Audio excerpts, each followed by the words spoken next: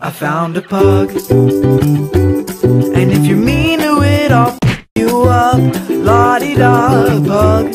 He's got a mashed up face. and He's the size of a mug. A pug.